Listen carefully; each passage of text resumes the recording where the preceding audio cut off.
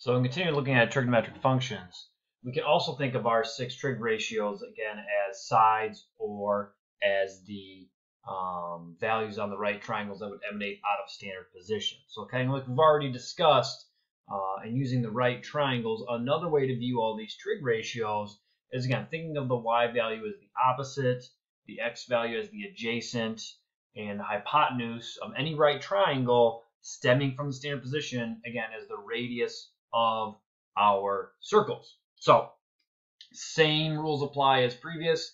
Again, the reciprocal of sine is cosecant, reciprocal of cosine is secant, reciprocal of tangent is cotangent. So what you'll notice again is all those ratios are just inverted because again they are um, again stemming from that same reciprocal identities as previously stated. So uh, again, these are not technically on the full unit circle. So this is again any kind of circle. Here's our uh, coordinates, and they're asking us to find the six trig values uh, associated with this particular standard position. So again, we have the x value, which is going to help us relate to our cosines, our y value, which will help us relate to our sines. What we are missing would be the hypotenuse or the radius of this circle. So again, we can find the radius of any circle by using the Pythagorean theorem and helping us find out the uh, missing piece of our ratios. So we're gonna, just going to go ahead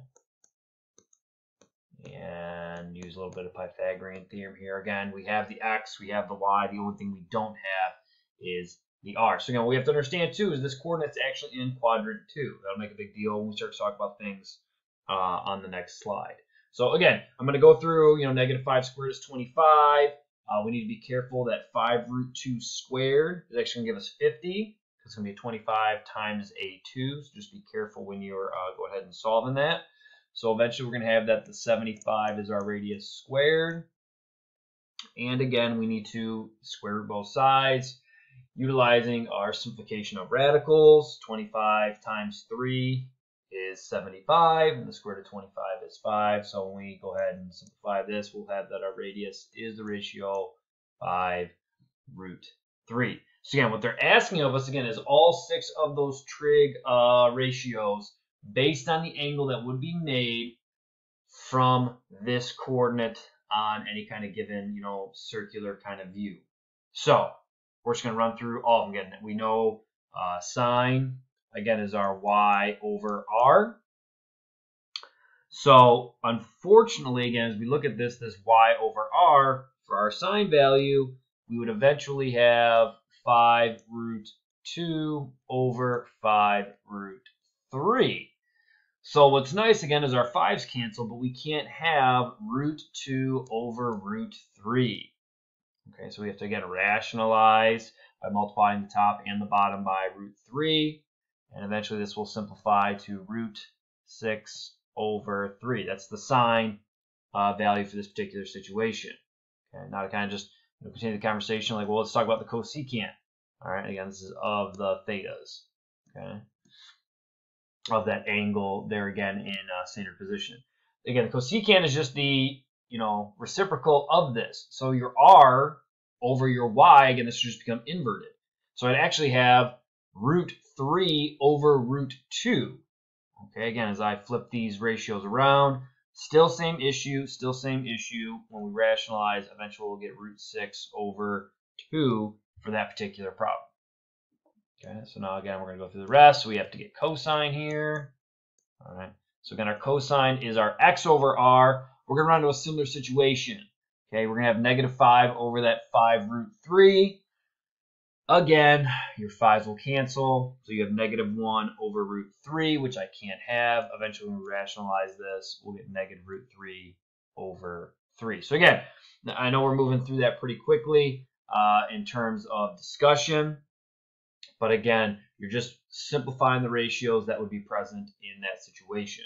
Now, again, jumping over to the secant of theta, because again, that's just the inverse of our cosine. Again, that, that's actually kind of a, a nicer setup for us because again, secant is the inverse of cosine. So it's not x over r, it's r over x, which in this case is actually a lot nicer for us. We have 5 root 3 over the negative 5. 5's cancel. I'm just left with my negative root 3 there on top. And I don't have to do any kind of rationalizing in that situation. So last we got to do tangent and cotangent. So we actually don't need r to do tangent here because again, tangent is y over x, opposite over adjacent. Uh, so you'd have your 5 root 2 over your negative 5. Again, pretty nice. 5's cancel. I'm just left with a negative root 2. So far, so good. So cotangent, again, is the inverse of that. So again, that's going to be our uh, x over y situation here for our ratio. Uh, again, we, we already have x is negative 5. Uh, again, our y is 5 root 2. Similar situation. Um, or you can think about just inverting tangent, same way. Um, so you would have 1 over negative root 2, which again we, we can't have, so it's still negative. It's going to be negative root 2 over 2. So uh, we're going to look at the next one real quick and kind of just see how um, sometimes you can streamline things. You can move a little bit quicker, again, recognizing about if you're in your cardinal directions. Um, so for example, uh, again, we're going to look right here at uh, you know, number 2. Uh, yeah, clear some space here for ourselves. So if you're at the coordinate 0, negative 4, we have to understand is we are straight down. So in terms of our you know previous discussion, that would be down at a 270 degree or 3 pi over 2 um, standard position kind of angle. So again, it's still finding all six of these trig values. What you're going to notice is um, some of them are going to be undefined. Okay, so yeah, theoretically you want to think about this coordinate. Okay, we're, you know, still in, in terms of location, we are straight down. We're down here at 0, negative 4. Okay, so what that's going to tell us is how big is the radius. It's going to be 4. It's going to be a huge thing to, to help us, again, kind of streamline some of this. All right, the radius can never be negative, again, as a distance. So the coordinate is 0, negative 4. That means I'm straight down 4.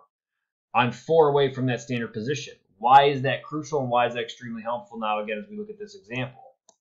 Because we look at that, again, the sine is y over r, which in this case will be negative 4, 4, which is negative 1. So if you're not in your standard positions, you know, regardless whether you're unit circle or not, these ratios will always happen. These ratios will always happen for us. Okay, so what does it tell me about the cosecant? It's going to be the same thing. It's going to be the same thing because, again, 4 over negative 4 is still going to give us a negative 1. Now, how about cosine? Well, cosine again is x over r. 0 over 4 is 0. That's not the one that we have to you know, discuss. Really, we have to be careful of is secant here. So secant, again, would invert that ratio, r over x. 4 divided by 0. Again, that is an undefined term. We cannot divide by 0. So that's why in this case, this secant is going to be undefined here. Which again, as we talk more, we'll get into, we'll see why the graph of that has an asymptote there. Uh, again, so we're talking about tangent and cotangent, we're going to have similar kinds of issues because again, tangent is y over x. We have negative 4 over 0. Again, that divide by 0 situation. This is also undefined. But if we look at cotangent, which again inverts that tangent ratio, it is x over y. 0 over negative 4 is 0. So again, it's really important that we can kind of recognize, you know, we're in those kind of standard positions kind of help ourselves out. Um, this little chart here, again, is about positive negatives in the quadrants. Again, we've discussed, you know, kind of in the past. Uh, any ratio that relates to uh, x's uh, and y's, you'll see that they're positive, negative in the quadrants, specifically to where x and y are positive, negative. So again, since our y values are positive in quadrants 1 and 2, sine and cosecant follow suit. Uh, cosine is related again to the x's. So that's why cosine and secant, again, are positive in quadrants 1 and 4. Now, again, tangent and cotangent are related to both. So those will be positive when the x and y signs are the same. So in quadrant 1 and quadrant 3, the signs are the same. So when I have my y over x or my x over y, those would stay positive in those two quadrants. So Uh, we kind of already discussed this uh, before, but again, we're talking about a reference angle. We're talking about the angle again uh, that the terminal side is making towards the x-axis. So for example, if somebody's asked me to sketch a, again, 205 degree angle, which we've already done, again, we're staying here on the initial side. The terminal side would put me in quadrant 3. Uh, again, 180 degrees is halfway around, so we're not too far off there. And when they're asking about the reference angle, they're talking about this little angle right there. Okay? So this reference angle is the angle made with the x-axis. And we've, again, kind of referenced this already in the past. 205 degrees is 15, I'm sorry, 25 degrees uh, past 180. Apologize. So it's 25 degrees past 180. That's why that would be the reference angle it would make. Similar, 3 pi over 4, we know from our unit circles of 45 type. Again, we're in radians, so we're going to discuss that. Uh, again, if I'm sketching this angle, that's a quadrant 2. So when they're, again, they're referring to the reference angle, they are talking about this angle right here. So what angle would that make with the x-axis? Well, that would make a pi over 4 angle, which we've already kind of discussed, because again, that would make a 45 degree type, and that's what pi over 4 angles in radians would do. So if we're looking at, again, the exact values of our six trig functions and we get a situation like this, okay, they've already told me the sine of theta is one third. Well, that's great. That's one of them I need. What's even better is the cosecant, again, is just the reciprocal. That's why that's three. So we're already done with uh, two of those particular pieces of information. Now, what we have to do and we have to encounter here again is understanding sines the ratio of y over r.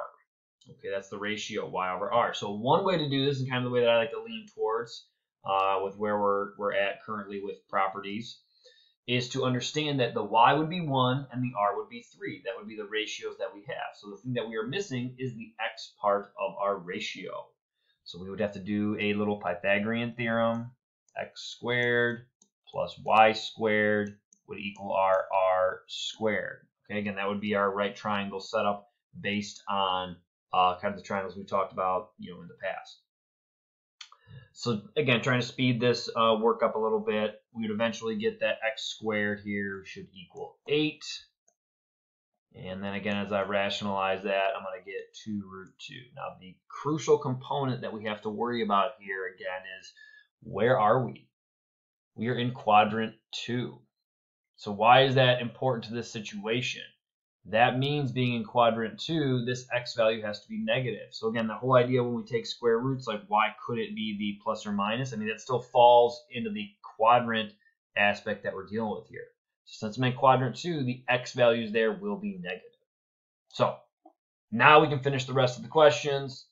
What is the cosine ratio going to be? Again, that's going to be our x over our r. We've now found our x negative 2 root 2 over our r, which was 3. And then again, now to jump over to uh, talk about the uh, secant, because again, the secant is the inverse of that particular uh, relationship. Again, we're going to have a radical on the denominator technically. So again, inverting that ratio, uh, what we're going to find and see here uh, in particular is um, we're going to have to rationalize the denominator yet again. So again, r being 3 over x, the negative 2 root 2. Again, we can't have that root 2 down there in the denominator. Uh, can't use it, can't have it. So I'm going to have 3 over that, you know, again, still negative. Still negative because, again, we're in quadrant 2. But the 3 over 2 root 2 we'd have to rationalize. That eventually is going to give us 3 root 2 over 4. So then lastly, I'm going to try and squeeze in here our uh, tangent and cotangent values. Again, tangent is y over x. So again, our quadrant 2 situation is going to make tangent and cotangent negative because the y values there are positive, but the x values are negative. So our y value, again, is 1. Our x value is, uh, again, the negative 2 root 2. So y over x is effectively going to give us a situation we have to rationalize, and we're going to get negative